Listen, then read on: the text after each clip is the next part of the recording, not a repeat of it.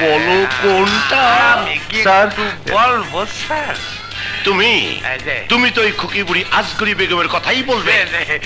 অবশ্য উনিও চলে খারাপ না। চুপ করো। পলাশ তুমি বলো। আমার তো স্যার ওই লাবণীকে ভালো লেগেছে? আম গাছে কানুল রান্না লাগাইলো। লাবণী এলো কইতে। কেন? ওই যে বড় বোন? লগ্ন। ওর নাম লগ্ন। ইস! একদম আমার সাথে তোমার সাংঘাতিক মিলে গেছে। আর ওই ছোটটা আজ তো একটা গোখর সাপ কথায় কথায় ফস করে ওঠে শয়তান। উঠো! দাদা আমাকে কি? আমরা তো পছন্দ করছি বড়টারে এখন কি করতে হইব তাই বলেন। আরে বলবে তো তোমরা। আমাকে জিজ্ঞেস করছ কেন? উম, আমি কাল সকালে এই বিবাহের প্রস্তাব নিয়ে যাই। বেকুবের মতো কথা বলো না তো। তোমার নাম শুধু শুধুই দৌলত রেখেছো। পকেটেও কিছু নেই মাথায়ও কিছু নেই। পলাশ তুমি বলো। আপনি ওনার সাথে নিজে কথা বলুন। সেটাই সবচেয়ে ভালো হবে। আমার সাহসে কুলায় না। কি বলতে কি বলে ফেলব? পরে সব গন্ডগোল হয়ে কাম করেন স্যার আপনি একজন উকিল পাঠান আপনার পক্ষ হইয়া সেই সব কথা বলবে। এই কথাটা মন্দ বলনি। উম, তবে কথা বলার চেয়ে আমার একটা চিঠি নিয়ে গেলে কেমন হয়? খুব ভালো হয়। ইস এই কথাটা পেটে ছিল মুখে আসে নাই। কি পলাশ প্রস্তাবটা তোমার কাছে কেমন লাগল?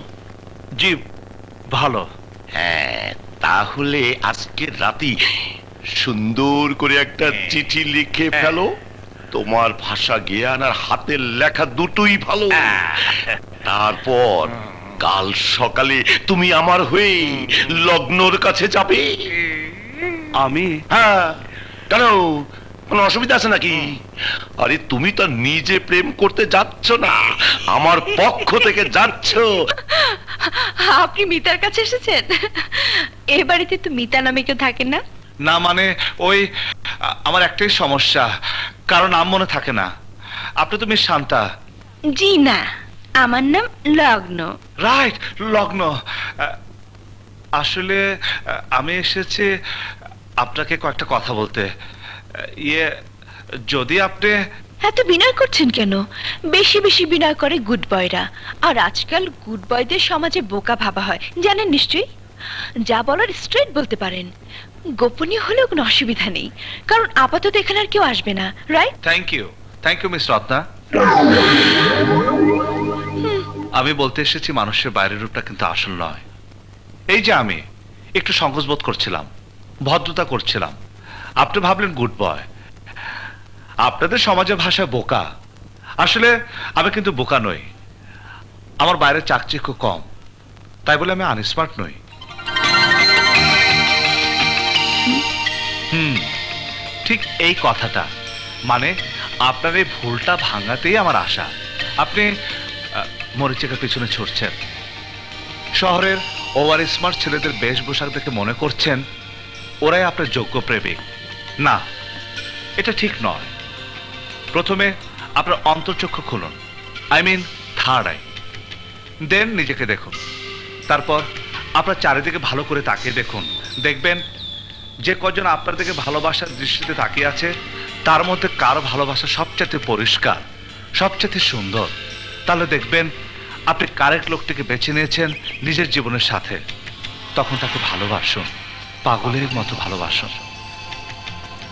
সারা পৃথিবীর সব মানুষকে জানিয়ে দিন আপনার ভালোবাসার কথা।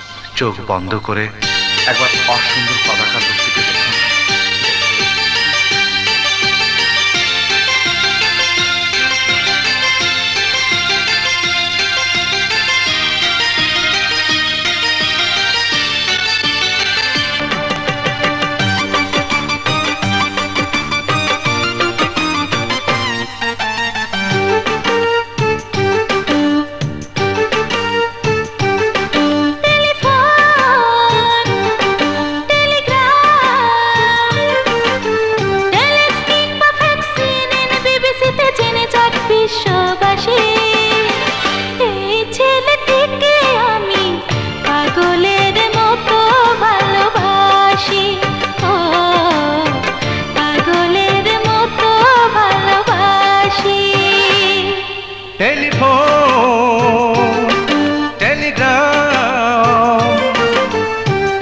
কিংবা ফ্যাক্স সিএনএন বিবিসিতে জেনে যাক বিশ্ববাসী। এই মেয়েটিকে আমি পাগলের মতো ভালোবাসি। ও, পাগলের মতো ভালোবাসি।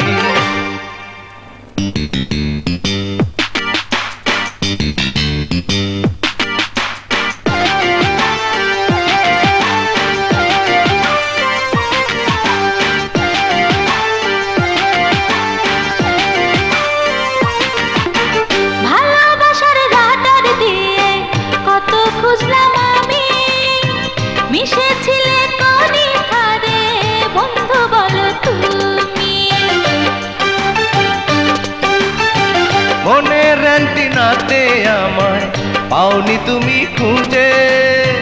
তাই তো ধরা দিলাম তোমার আমি নিজে নিজে। এখন তোমায় পেয়ে হয় মনে গো লক্ষ বছর বাজে। এই মেয়েটিকে আমি পাগলের মতো ভালোবাসি। ও পাগলের মতো ভালোবাসি।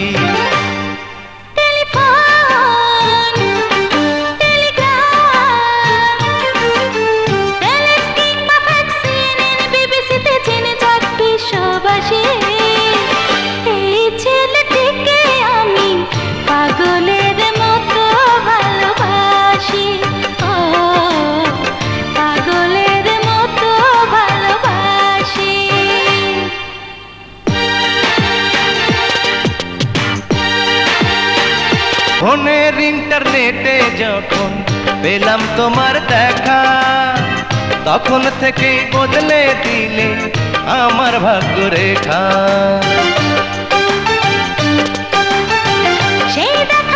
চোখে চোখে এগ্রিমেন্ট হলো।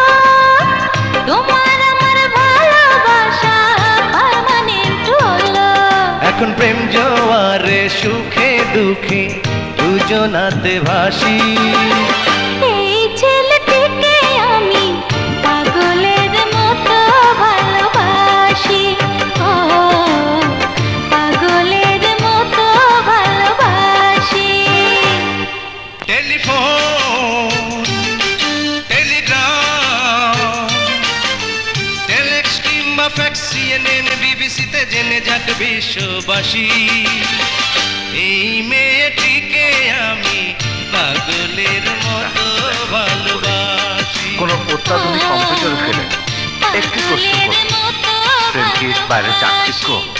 নাকি অন্তরে লুকিয়ে থাকা সুন্দর মন? উত্তর পাবেন সুন্দর মন। এতক্ষণে নিশ্চয় বুঝতে পেরেছেন আমি কি বলতে চেয়েছি।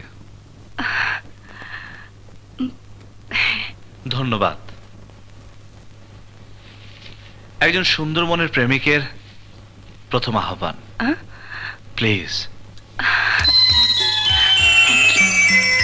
আমি চলি।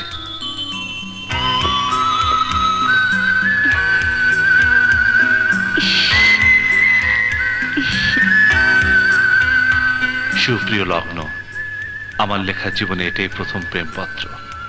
তোমার কাছে আমাকে যতই কুৎসিত মনে হয় না কেন একবার ভালোবেসে দেখো। আমার মনটা তার চেয়ে অধিক সুন্দর ও পবিত্র। তোমার সারা পেলে আমার ভালোবাসাতে পৃথিবীতে ইতিহাস করব, অনিঃশেষ ভালোবাসা